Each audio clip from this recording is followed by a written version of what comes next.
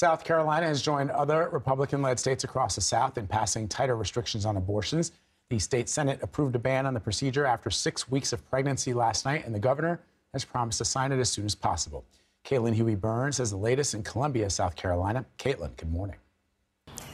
Good morning. Well, this bill passed after months of wrangling and failed attempts. And once this is signed into law, it will have wide implications for abortion access in the South, leaving Virginia as the only state in the region without new abortion restrictions since the Supreme Court overturned Roe v. Wade. What this ban will do is essentially ban abortions around six weeks before most women even know they're pregnant.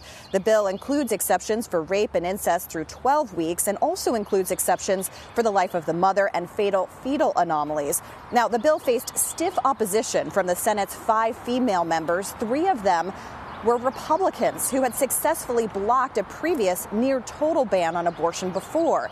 This time around, they recently lost the support of three fellow Republican men. And this comes, of course, one week after Republicans in neighboring North Carolina overruled the governor there to pass a 12 week ban.